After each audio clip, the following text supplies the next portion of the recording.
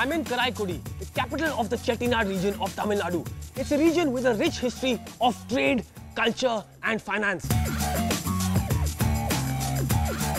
Famous for its palatial bungalows and of course its great cuisine. So I'm gonna go and check it out.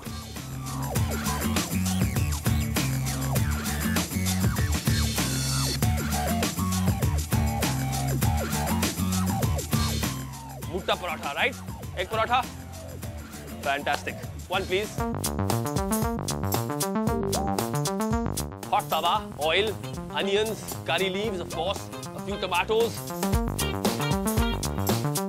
That one paratha has gone in and now egg or the mutta. Right? Correct? Yes. So two eggs, salt and pepper, a little bit of chili, and then just scramble all of it. That really is your ultimate South Indian scrambled. Chicken, chicken gravy. And chicken gravy.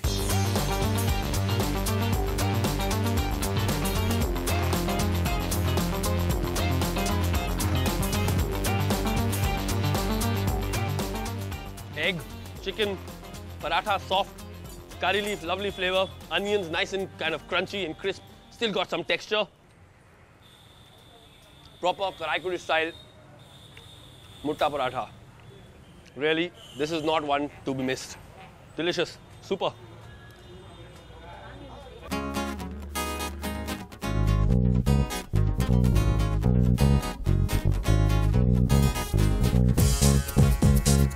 Right, time for my traditional non-veg chettinad lunch. Ah, oh, this is the, this way, correct? Okay, brilliant. Thank you.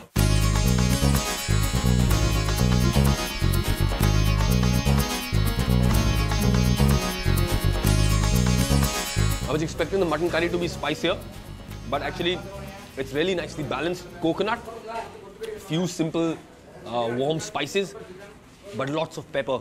And that to me is the real kind of character of proper Chettinad cuisine.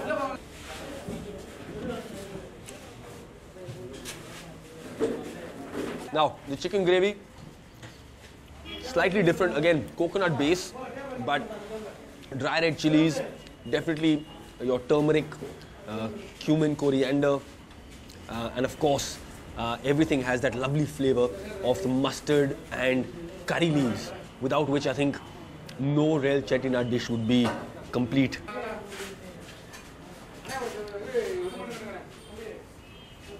That kaddu is really quite, quite spicy, really intense hit from green chili, and uh, again I think it's cooked in coconut milk or with a coconut based masala, but you really get a strong hit of green chili from that um, lovely loki sabzi.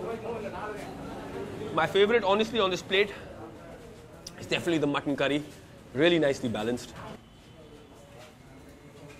Mm.